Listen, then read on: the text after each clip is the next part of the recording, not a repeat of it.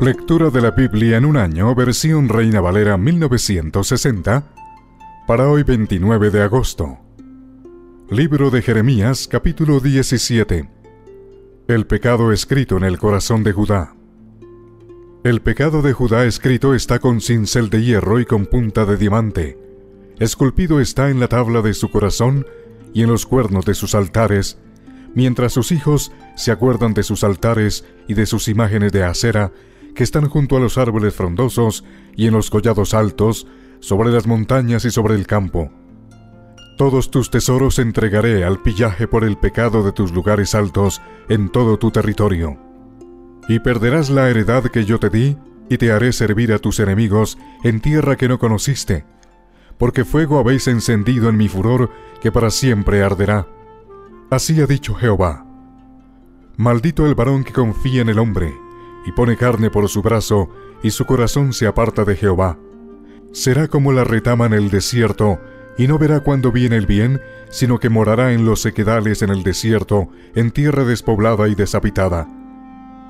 Bendito el varón que confía en Jehová, y cuya confianza es Jehová. Porque será como el árbol plantado junto a las aguas, que junto a la corriente echará sus raíces, y no verá cuando viene el calor, sino que su hoja estará verde, y el año de sequía no se fatigará, ni dejará de dar fruto. Engañoso es el corazón más que todas las cosas, y perverso. ¿Quién lo conocerá? Yo Jehová, que escudriño la mente, que pruebo el corazón, para dar a cada uno según su camino, según el fruto de sus obras. Como la perdiz que cubre lo que no puso, es el que injustamente amontona riquezas. En la mitad de sus días las dejará, y en su postrimería será insensato. Trono de gloria, excelso desde el principio, es el lugar de nuestro santuario. Oh Jehová, esperanza de Israel, todos los que te dejan serán avergonzados, y los que se apartan de mí serán escritos en el polvo, porque dejaron a Jehová manantial de aguas vivas. Sáname, oh Jehová, y seré sano. Sálvame, y seré salvo, porque tú eres mi alabanza. He aquí que ellos me dicen, ¿Dónde está la palabra de Jehová? Que se cumpla ahora. Mas yo no he ido en pos de ti para incitarte a su castigo, ni deseé día de calamidad, tú lo sabes. Lo que de mi boca ha salido fue en tu presencia. No me seas tú por espanto, pues mi refugio eres tú en el día malo. Avergüéncense los que me persiguen, y no me avergüence yo. Asómbrense ellos, y yo no me asombre trae sobre ellos día malo, y quebrántalos con doble quebrantamiento. Así me ha dicho Jehová, Ve y ponte a la puerta de los hijos del pueblo, por la cual entran y salen los reyes de Judá, y ponte en todas las puertas de Jerusalén. Y diles, Oíd la palabra de Jehová, reyes de Judá, y todo Judá y todos los moradores de Jerusalén, que entráis por estas puertas.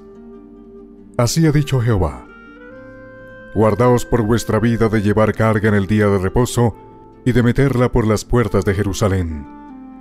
Ni saquéis carga de vuestras casas en el día de reposo, ni hagáis trabajo alguno, sino santificad el día de reposo como mandé a vuestros padres. Pero ellos no oyeron, ni inclinaron su oído, sino endurecieron su cerviz para no oír ni recibir corrección.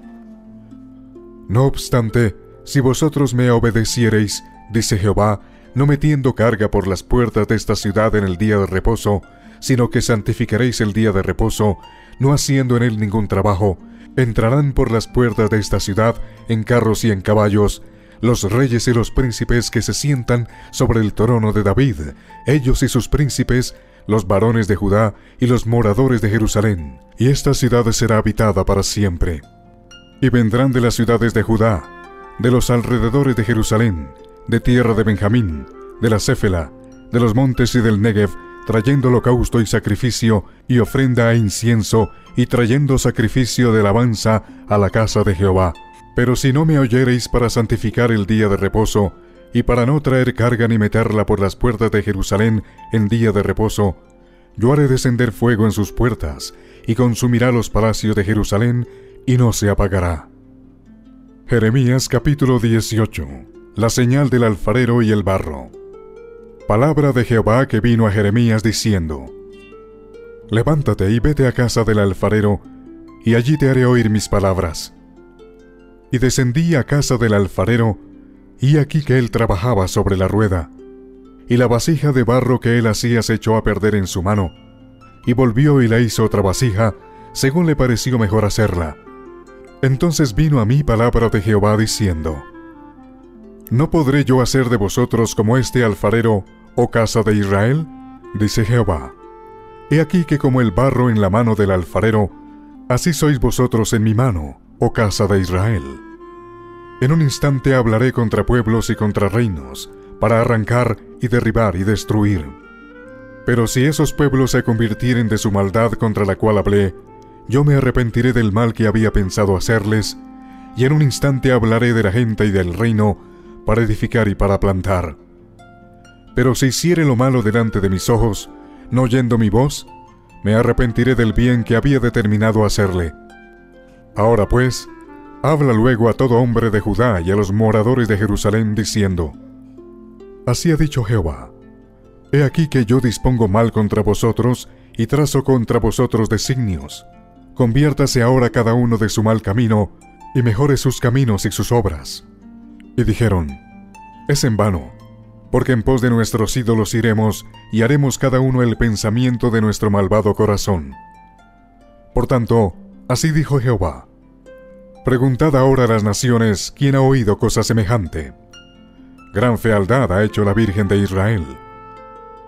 ¿Faltará la nieve del Líbano de la piedra del campo? ¿Faltarán las aguas frías que corren de lejanas tierras? Porque mi pueblo me ha olvidado, incensando a lo que es vanidad, y ha tropezado en sus caminos, en las sendas antiguas, para que camine por sendas y no por camino transitado, para poner su tierra en desolación, objeto de burla perpetua. Todo aquel que pasare por ella se asombrará y meneará la cabeza. Como viento solano los esparciré delante del enemigo. Les mostraré las espaldas y no el rostro en el día de su perdición. Y dijeron, Venid y maquinemos contra Jeremías, porque la ley no faltará al sacerdote, ni el consejo al sabio, ni la palabra al profeta. Venid e irámoslo de lengua, y no atendamos a ninguna de sus palabras. Oh Jehová, mira por mí, y oye la voz de los que contienden conmigo. ¿Se da mal por bien para que hayan cavado hoyo a mi alma? Acuérdate que me puse delante de ti para hablar bien por ellos, para apartar de ellos tu ira. Por tanto, entrega sus hijos a hambre, dispérsalos por medio de la espada, y queden sus mujeres sin hijos y viudas, y sus maridos sean puestos a muerte, y sus jóvenes heridos a espada en la guerra Óigase clamor de sus casas cuando traiga sobre ellos ejército de repente, porque cavaron hoyo para prenderme y a mis pies han escondido lazos. Pero tú, oh Jehová, conoces todo su consejo contra mí para muerte.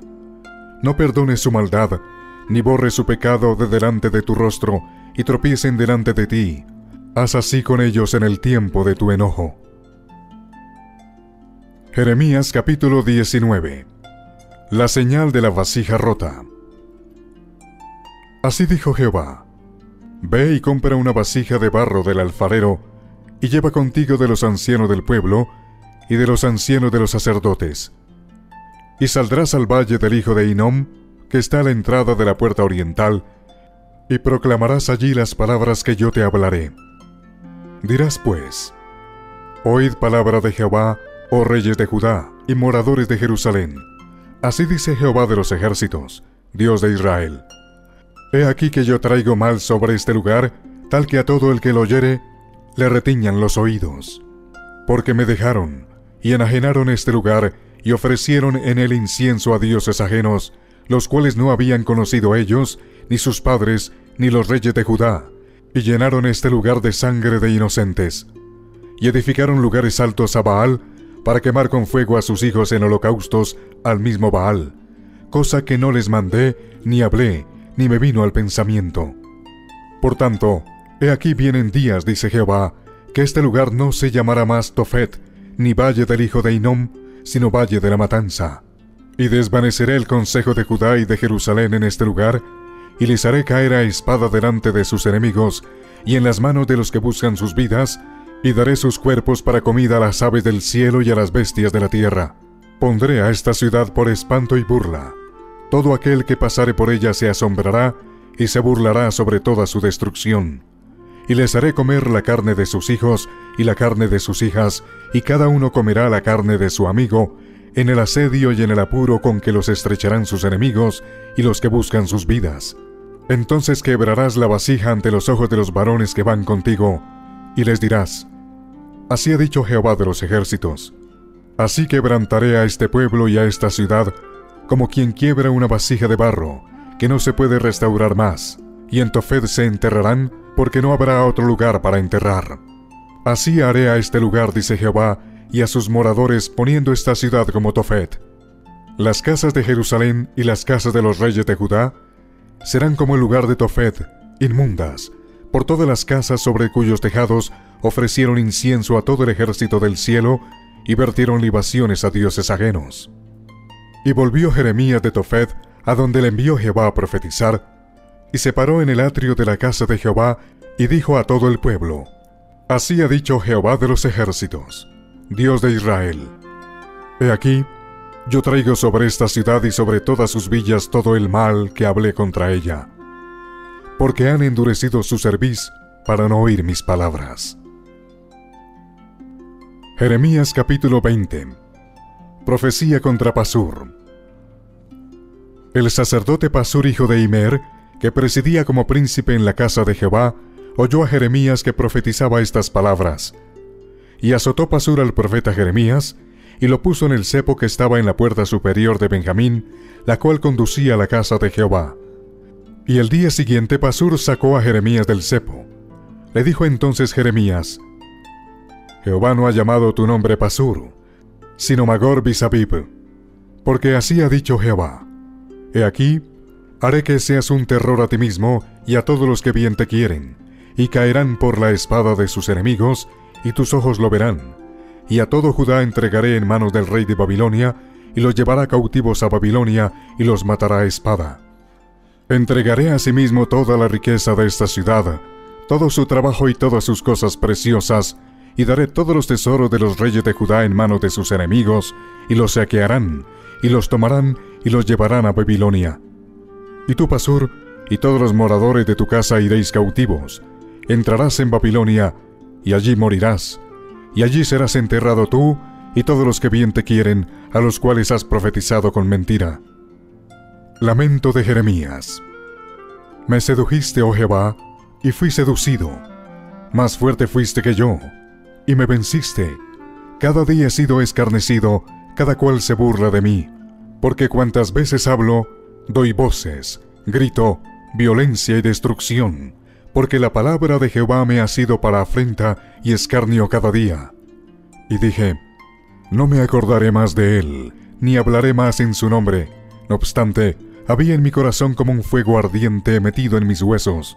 Traté de sufrirlo y no pude, porque oí la murmuración de muchos, temor de todas partes. Denunciada, denunciémosle.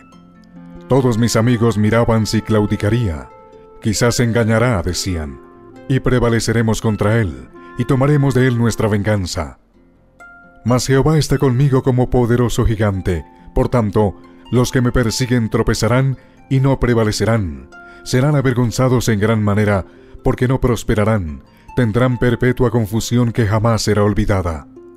Oh Jehová de los ejércitos, que pruebas a los justos, que ves los pensamientos y el corazón, vea yo tu venganza de ellos porque a ti he encomendado mi causa.